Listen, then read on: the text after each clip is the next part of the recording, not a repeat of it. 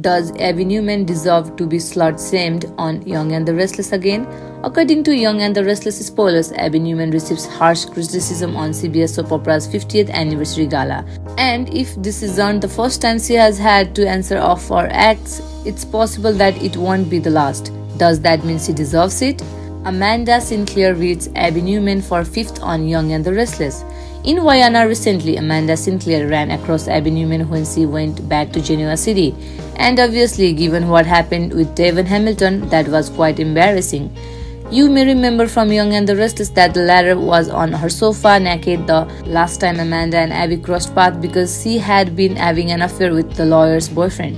Now that she has hit her boyfriend, the naked heiress wants to make amends. But how does one behave nicely?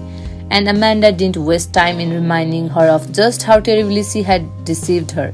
She informed her that she was unable to spend time with Abby and left. Naturally, this is not the first time Abby has received criticism for her dubious actions.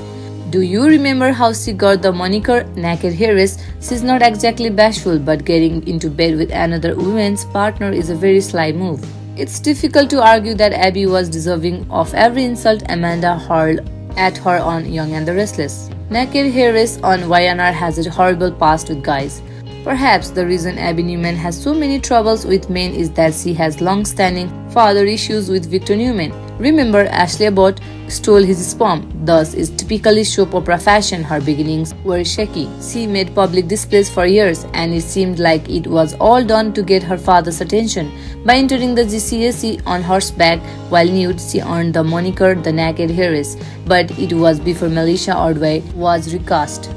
But she at least refrained from pulling that prank at the significant Young and the Restless 50th anniversary gala. She had other instances of public nudity as well. She also gave the press an invitation to watch her swim naked in the Chancellor pool. Abby promoted the nickname Naked. In truth, she urged Jason Thompson's character Billy Abbott to write that about her in restless style. She never has luck in love despite all the attention. She was cheated on by Arturo Rosales. Furthermore, her mother Ashley and Stitches Rayburn had sex. And because of the mess she's made with the Newman family, a ton of guys have turned their backs on her. Then Young and the Restless provided her with the chance of successful conclusion. It involved Chance Chancellor. She, however, was the one who caused all the trouble by acting so inappropriately. Is there a chance things will work out with Devon given her past? Abby Newman is insulted by Nina Webster at Young and the Restless gala. When Abby Newman bumps across her ex mother in law Nina Webster at the masked ball, things on Y&R quickly become unpleasant. Naturally, Nina feels upset with herself for betraying Chance and breaking the marriage on CBS serial series. Abby did her husband a disservice by having an affair with Devon. Furthermore, Chance had shown her nothing but affection despite the fact that he was suffering from the severe PTSD at the time. Without a doubt, his wife's betrayal of him made no differences and the fact that Abby is still having affairs with Devon enraged both Nina and Amanda.